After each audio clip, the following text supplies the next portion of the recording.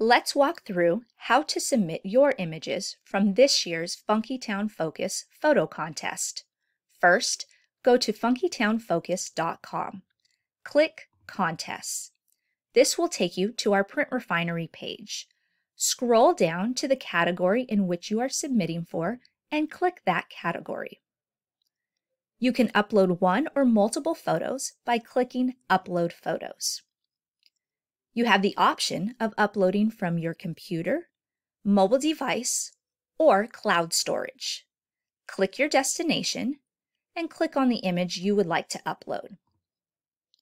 Once that image has uploaded into the library, make sure to click it and you will see that indicated by the check. Go over to the right and add it to the category in which you are submitting. For this image, we are submitting to the portrait category, so click the plus sign and you will see that it has been added.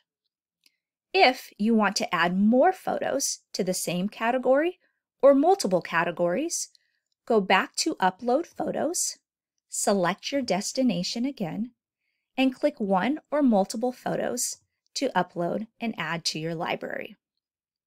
Once those photos have been uploaded, click the photo again and go over and add it to the specific category in which you are submitting for. You'll know that they have been submitted by the green and the number one at the top of the image.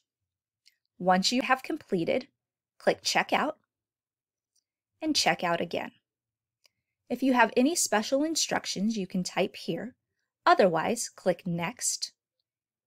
Click Next again you're going to have selected Pickup in Store and click Next. Make sure that your name, phone number, email address, and billing address are all filled out here. Then click Review Your Order. You can type in your credit card information and review which categories you have submitted your images to. Once you have filled out all of your payment information, you can click Place Order, and you are all finished. We look forward to seeing your images at this year's Funkytown Focus photo contest.